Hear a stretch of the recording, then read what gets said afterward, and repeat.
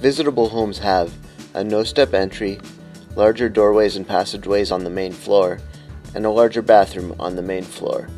Visitable homes are, from a construction standpoint, they're built on a term what we call on grade, which means that there's no stairs at the front of the house, nor are there stairs that access from the garage to the house.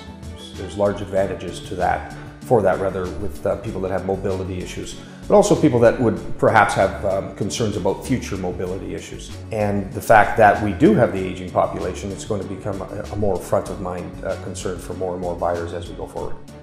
Well, I think that uh, it could appeal to uh, the younger buyers, and partly because there's an interest in that uh, in that group in creating uh, or making ethical choices as far as what they're purchasing.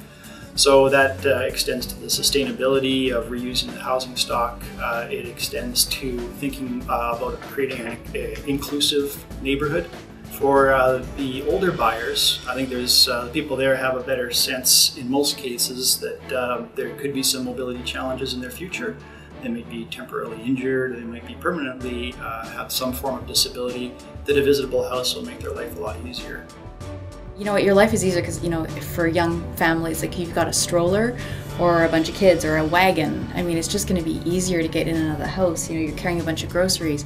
You're not trucking up and down the steps you know, just multi generational families. And even if you're just thinking about you want to stay in your home longer, like you don't want to move when you're 70 because you can't negotiate the stairs anymore. You want to stay in your house as long as possible. And it's just one of those things, it's just a no brainer. You should absolutely do it.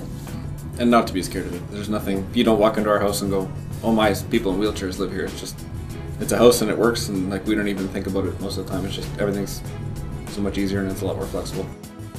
We wanted a house that we could stay in, you know, and not uh, as long as possible, and maybe, you know, not move when we're, you know, say 60, 70, um, just because we can't go up and down the stairs. Or if one of us gets injured again, building a house that had visitable features already designed into it, it just made a lot more sense.